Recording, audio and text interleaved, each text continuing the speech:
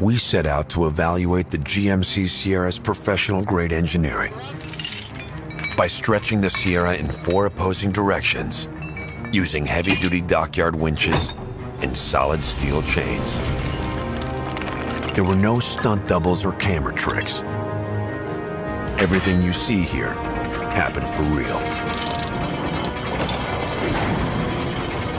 And Sierra held up for real. Time after time. Not just once, but 46 times over two long days. The Sierra was pulled, stretched, tortured. As more and more force was applied, Sierra's hydroform steel frame held firm. Far from giving under the strain, Sierra actually lifted off the ground. So when we say we've done our homework on the GMC Sierra's professional grade engineering, we mean we've done our homework 46 times. When your truck's built to a higher standard, that's professional grade.